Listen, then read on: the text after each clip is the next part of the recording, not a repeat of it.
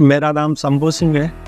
मैं रेलवे से रिटायर्ड हूँ और मैं पिछले पंद्रह साल से आस्ट्रो आर्थराइटिस से पीड़ित था। मेरे पाँव में दर्द रहता था। मैं लगभग एक डेढ़ किलोमीटर से ज़्यादा चल नहीं पाता था। इसके पश्चात मैंने सेलवी हॉस्पिटल से संपर्क किया। मैंने डॉक्टर दीपक सर से संपर्क किया और उनसे ही ऑपरेशन करवाया। मैंने पिछले चार जून 2023 को दीपक सर ने मेरा अच्छी तरह से ऑपरेशन किया। और आज मेरे को डेढ़ महीना हो गया। मैं बहुत अच्छी तरह से रिलैक्स फील कर रहा हूँ और कम से कम डेढ़ तीन किलोमीटर के आजू बाजू में पर डे वॉक कर लेता हूँ। और डॉक्टर सेलू मैडम ने मेरे को महीने भर तक फिजियो करवाई। इन्होंने बहुत अच्छी फिजियो करवाई और मैं अच्छी तरह से फील कर रहा हूँ। सीढ़ियाँ भी चढ़ लेता हूँ वॉक भी कर लेता हूँ। डॉक्टर दीपक सर की टीम बहुत बढ़िया थी।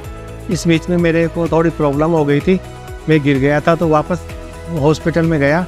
और उनकी टीम ने ही मेरे को बहुत अच्छी तरह ट्रीट किया और वहाँ का नर्सिंग स्टाफ भी बहुत बढ़िया था और सबने बहुत अच्छा कोऑपरेट किया मेरे को और डॉक्टर दीपक सर का बहुत बहुत धन्यवाद।